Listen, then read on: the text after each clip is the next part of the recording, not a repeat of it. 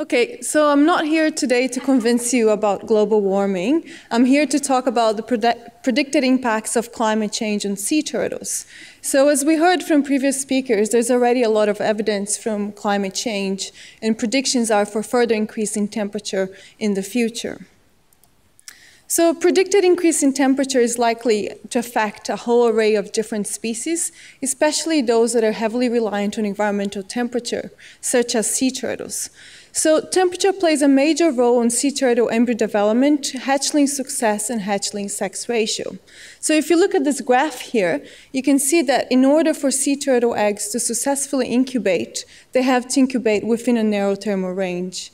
Anything above or below this will cause the eggs not to develop and they'll die. In addition to this, sea turtles have temperature-dependent sex determination. So differently to us, where sex is determined by chromosomes, for sea turtles, their sex is determined by the sand temperature. So warmer temperature produce more females, and cooler temperature produce more males. So we predicted increasing temperature. It's likely that there'll be a feminization of sea turtle populations and also a decrease in hatchling success. And this is what I call the bachelor's paradise, where we're going to have quite a lot of female turtles to only a few lucky male turtles. So for my work, I'm interested to understand how predicted increase in temperature will impact the reproductive output of marine turtles. So I have used the Northern Great Barrier Reef green turtle population as a case study, and this is actually the largest green turtle population in the world. So if you have a look at this map, you can see the nesting grounds for this population, and they nest mainly in Torres Strait and the northern Great Barrier Reef. And the red dots here are the most important nesting sites for this population. And for those of you who are here in the morning, you heard Helene Marsh talk about Raine Island and some of the issues that Raine Island, is currently experiencing. And Raine Island is the main nesting site for this population.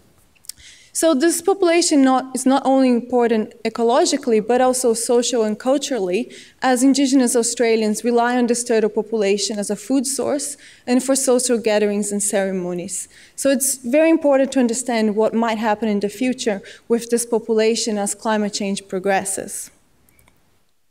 So, um, in order to understand or to be able to predict the sex ratio of hatchlings being produced at each of those nesting grounds for this population, I have been monitoring the sand temperature and the, uh, the nest temperature at each of those nesting grounds for the last seven years. I have also developed microclimate and correlative models where I look of the, in the relationship between environmental variables such as air temperature and sea, sea surface temperature with sand temperature to be able to predict sand temperature in the future. So I use both of these informations together with um, information on the relationship between the temperature of the sand and the sex of the hatchlings to be able to predict with what might happen in the future. So here I'm just going to provide a snapshot of what we predict will happen in the future as climate change progresses.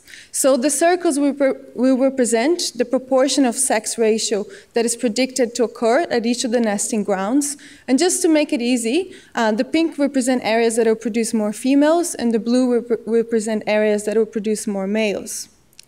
So here on the first map, we have the predictions for um, the sex ratio of each of the nesting grounds for 2030 in an extreme scenario of climate change. And basically what you can see is that the majority of the nesting grounds will be producing a high proportion of female turtles. But most importantly, we're able to identify one nesting ground, Sandbank 7, that will produce mainly uh, male turtles. And this is very important for conservation initiatives as protecting these rookeries it could be really important to uh, sustain the viability of this population. So here we look at the predictions for 2070, so more in the long term. And what you can see is that likely we're going to have a feminization of sea turtle populations, with the majority of the nesting grounds producing mainly female turtles. So what does this uh, feminization of sea turtle population actually means? So in the short term, over the next 20 to 30 years, we actually think that this feminization will be, will be beneficial for sea turtle populations because more females actually means more eggs, which might uh, result in uh, population growth.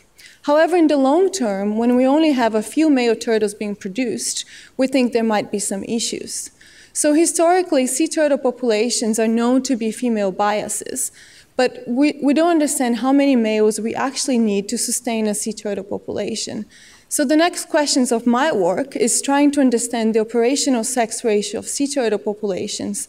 So in other words, I want to understand how many males do we actually need and how many females can one male turtle handle. Thank you.